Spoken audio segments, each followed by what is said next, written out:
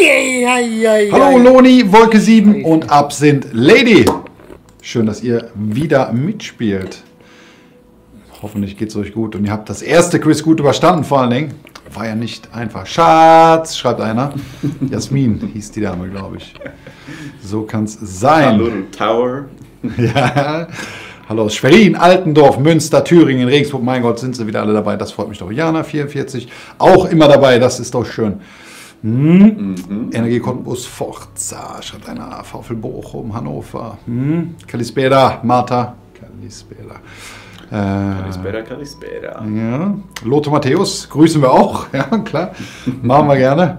Äh, ich bin bei Frage 8 rausgeflogen. Hm. Schade, schade. Aber neue Chance bei diesem Quiz. Und die Zeit können wir loslegen, denke ich ja. mal. Die Leute sind alle schon fleißig im Chat. Aus Düsseldorf schreibt die Eule, glaube ich, wenn ich es richtig gelesen habe. Viele Grüße an Annika Q, Quester. Machen wir auch. Und die Christina grüßen wir auch, die zwei lieben Mädels. Und die Lucy auch jetzt. Die genau. haben wir neu im Team.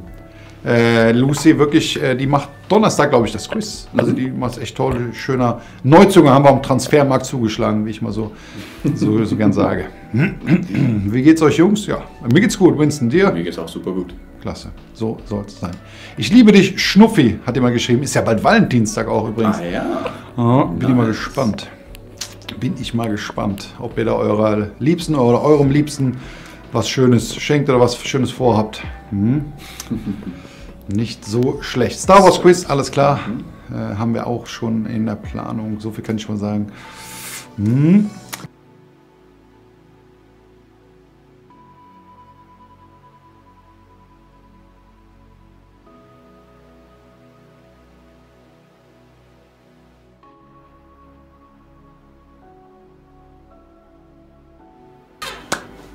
Guten Abend, 20.45 Uhr haben wir. Das heißt, dienstags immer Sport. Mein Name ist Jan Tauer, der Moderator für, diesen, für dieses Sportquiz und mit mir dabei mein Linebacker, möchte ich schon fast sagen, der Winston.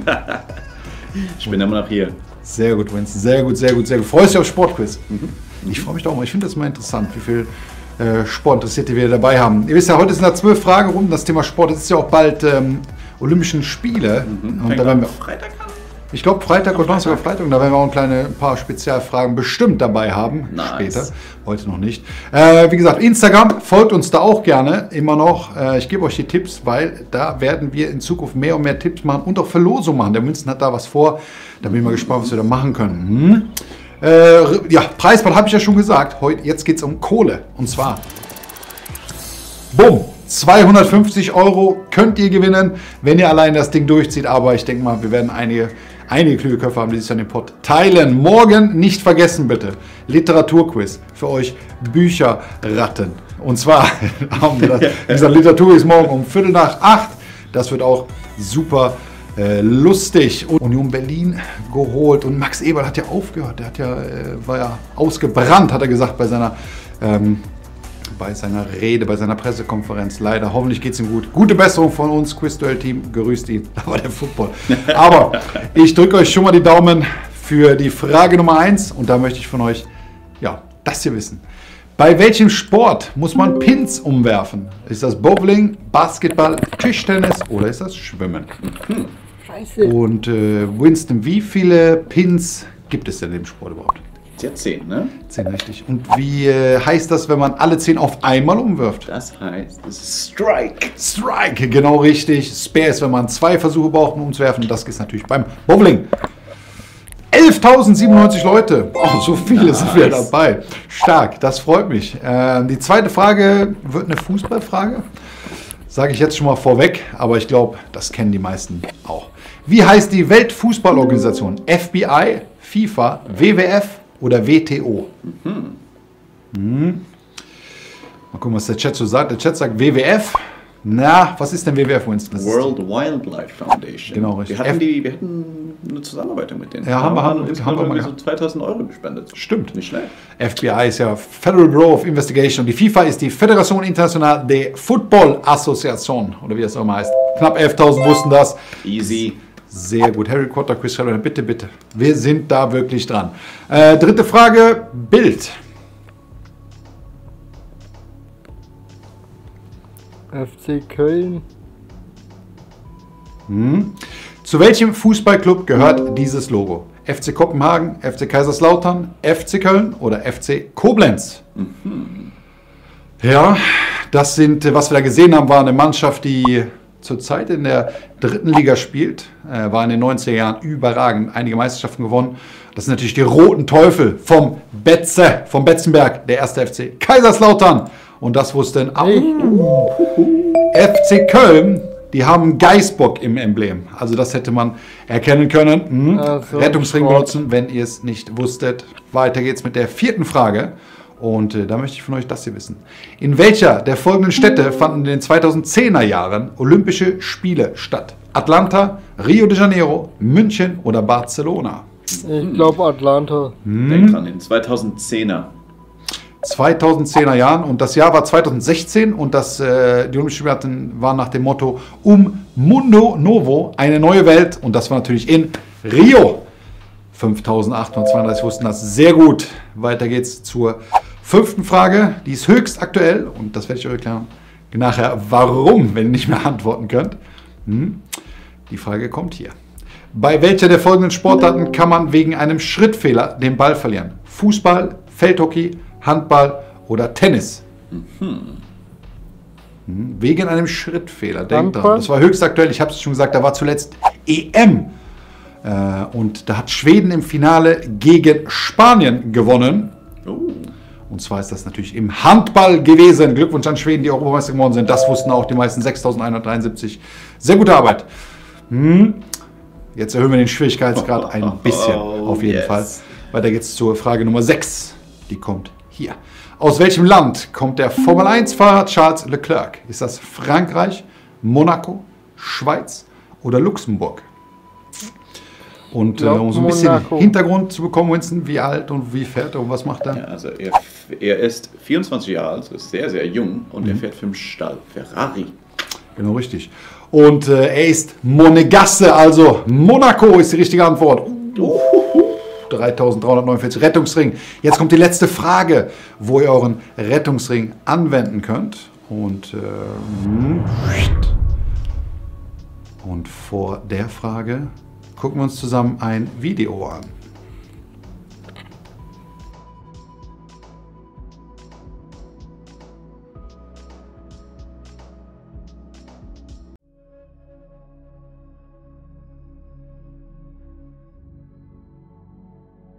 Wie heißt dieser Skisport? Ist das Skicross, Speed Ski, Super G oder nordische Kombination?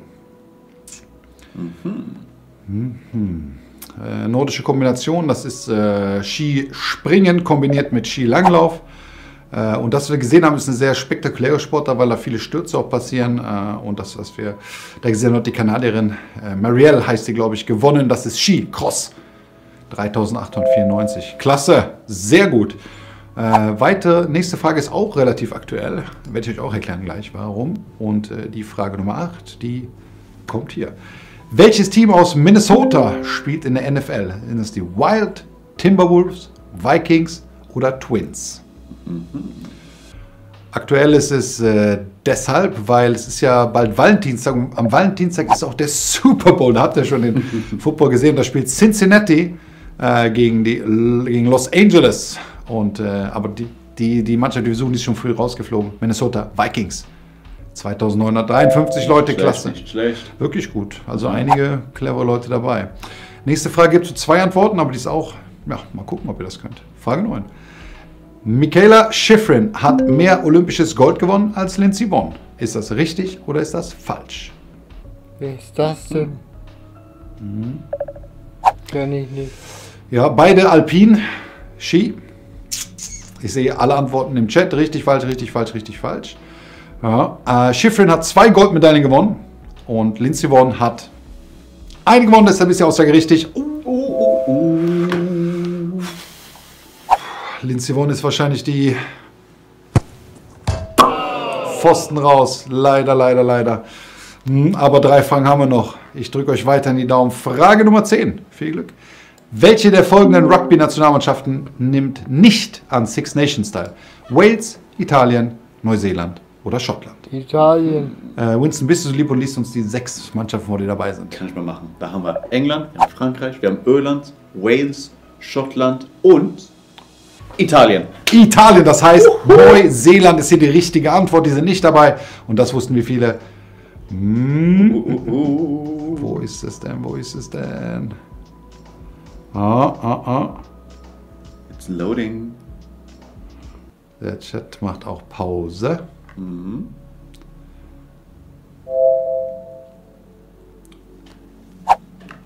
sehen. Ich sehe die Antwort hier im Handy. 235 Personen. Da haben wir's. 235. Hm, hm, hm. Uh, uh, uh, uh, uh. Einige an Italien, nee, die sind wirklich dabei. Ja, sind wirklich dabei. so sieht's. Zwei Fragen haben wir noch, liebe Leute. Und wie gesagt, denkt dran, wir arbeiten an der Technik. Das wird bald 100% klassen. Im vorigen Quiz hat es ja super geklappt. Jetzt sind wir ein bisschen mehr angestrengt. Aber das kriegen wir alles zusammen hin. Frage 11, viel Glück. Welchen Durchmesser hat welchen Durchmesser? Welchen Durchmesser? Sekunde, Sekunde, Sekunde. Mal sehen, das dauert alles ein bisschen länger gerade jetzt, komischerweise. Wir wissen nicht warum, aber wir arbeiten dran. Einwandfrei. Sie wissen nicht warum. Das ist manchmal so. Der Chat hängt auch. Hängt alles ein bisschen. Mhm. Aber er. ich lese sofort los, wenn es losgeht. Also seid gespannt. Welchen Durchmesser? Können wir damit anfangen? Welchen Durchmesser? Das kann ich schon mal sagen. Habe ich auch schon gesagt. Ah, da Winston, du kannst ja jetzt leider nichts drücken gerade. Nichts. Ah, Abgestuft. Ich weiß nicht, ob ihr mich seht oder ob ihr mich hört. Ich hoffe es auf jeden Fall. Ah, ah, ah. Ja, man sieht ihn ja. 235 Leute waren noch dabei, ne? Mhm, mhm. Ui, ui, ui, ui. Dann wird es ja richtig spannend. Ich möchte das jetzt hier wirklich. Ja, ich will es auch mal sehen. So, liebe Leute. Der Elmo sagt schon Gute Nacht. Äh, äh, äh. Ja, liebe Leute. Da weiß ich jetzt auch nicht, was ich hier machen soll. Genau. äh, Zurzeit. Ja, nichts funktioniert gerade komischerweise. Ja, das ist natürlich auch scheiße für die beiden. Mal sehen. Gucken mal, ob die Frage jetzt durchgeht. Nee, leider no. Ich guck mal kurz mit unserem Technik.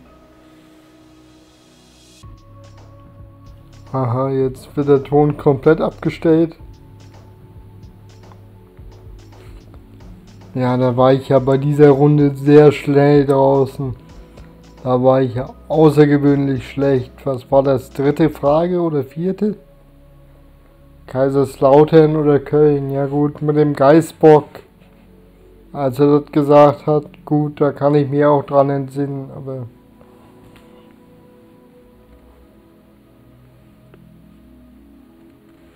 Da hatten dann so viele Köln geschrieben, da habe ich mich dann inspirieren lassen. Ja, wenn man von dem Thema halt nicht so wirklich viel Ahnung hat. Und so viel Zeit hast du ja auch nicht. Und du musst dich ja für irgendwas entscheiden. Gut, zwischendurch verdrückt man sich auch mal, aber gut, das war jetzt bei dem Ding jetzt mal nicht der, Fall. Mal gucken, ob wir jetzt nochmal die Frage dann nochmal zu hören kriegen. Das sieht ja aus, als wenn er irgendwie pinkeln muss. Naja. Ja, was machst du jetzt? Technik ist abgestürzt und und er muss das jetzt hier irgendwie lösen. Aber eigentlich kannst du das ja nur abbrechen, wenn das jetzt noch länger geht. Im Höchstfall wird jetzt nochmal was neu gestartet.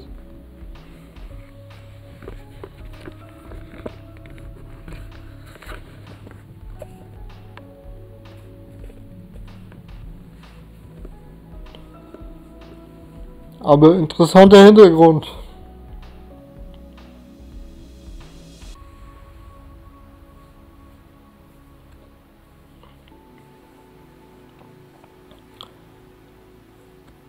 Mit Greenscreen-Technologie ist so einiges möglich. Hätte ich hier Platz, hätte ich hier auch einen eigenen Greenscreen mir aufgehangen, aber den Platz habe ich leider nicht.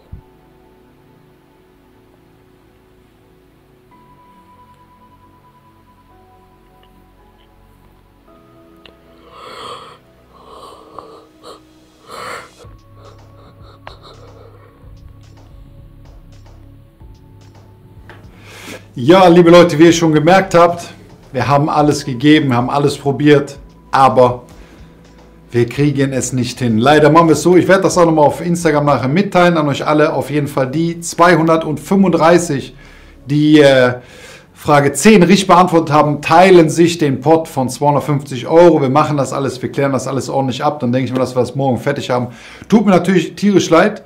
Äh, aber wie gesagt, wir arbeiten weiter hart daran. Ich bedanke mich wirklich für euer für euer Vertrauen, für eure Verständnis und Ver Verständnis für euer, ja wirklich, dass ihr, dass ihr so viel, äh, so viel, so viel Liebe uns, uns gibt, muss ich wirklich sagen. Das tut mir leid. Aber wir arbeiten hart dran und ich wünsche euch wirklich, dass es äh, euch weiterhin gut geht, dass wir uns morgen wieder sehen zum Literaturquiz und wie gesagt, die 235 teilen sich die 250 Euro. Äh, macht euch einen schönen Abend noch und danke, dass ihr dabei wart. Tschüss und bis dann. Ja, da sind sie natürlich auch enttäuscht, wenn sie das jetzt nicht auf die Reihe kriegen. Ja, was willst du machen? Manchmal ist die Technik halt ein bisschen, ja, bisschen verbuggt oder was. Naja. Dann gucken wir halt, was morgen dann das Literaturquiz macht. Aber grundsätzlich ist ja diese Show auch gar nicht verkehrt. Auch wenn sie des Öfteren mal irgendwelche technischen Aussetzer hat. Oder dass mal in den Fragen so ein paar Fehler drin sind, aber so im Großen und Ganzen finde ich es echt ganz gut.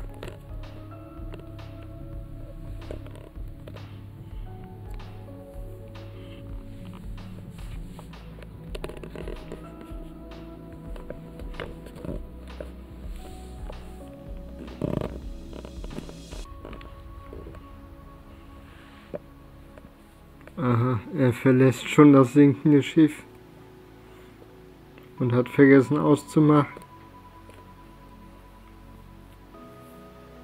Oder vielleicht hängt das da auch irgendwie. Man weiß es ja nicht.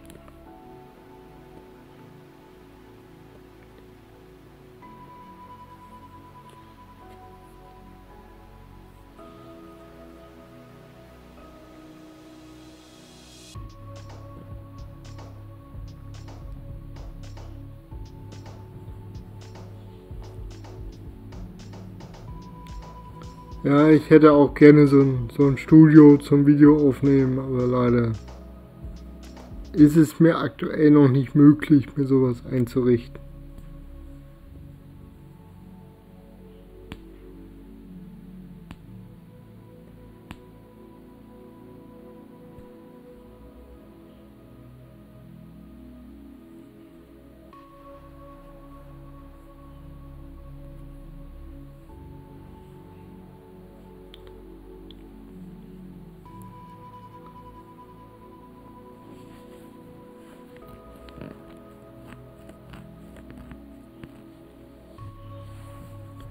Passiert hier noch was?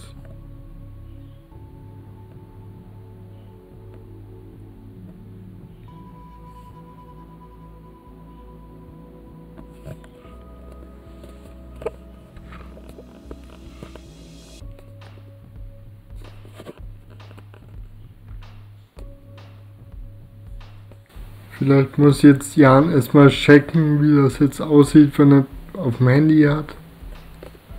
Weißt du ja nicht.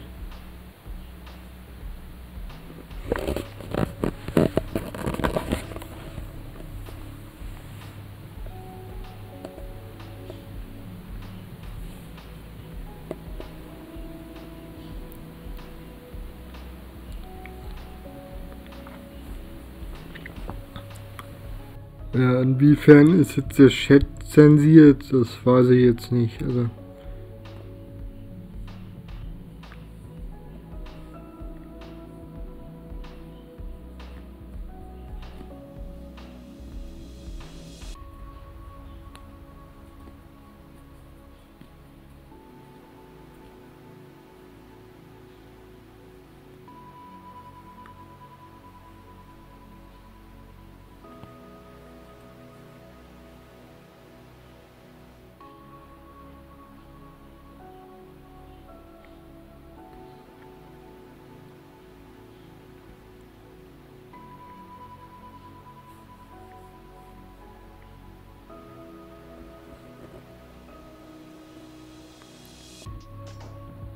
Na, dann glaube ich, werde ich dann auch langsam mal die Übertragung hier beenden. Scheint ja nicht mehr wirklich was zu passieren.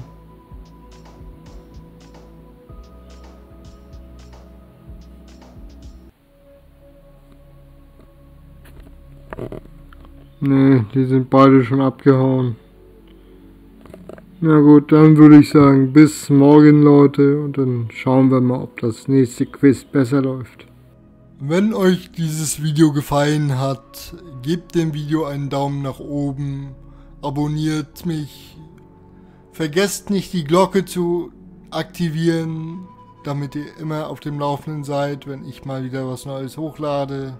Schreibt mir Kommentare, folgt mir auf Instagram und sorgt damit dafür, dass meine Motivation für euch weiterhin Videos zu produzieren hoch bleibt. Ihr wisst ja, Filme zu produzieren ohne Zuschauer ist immer ein bisschen suboptimal, deswegen zeigt mir eure Unterstützung. Ich hoffe, dass ihr beim Anschauen genauso viel Freude habt wie ich beim Erstellen dieser Videos.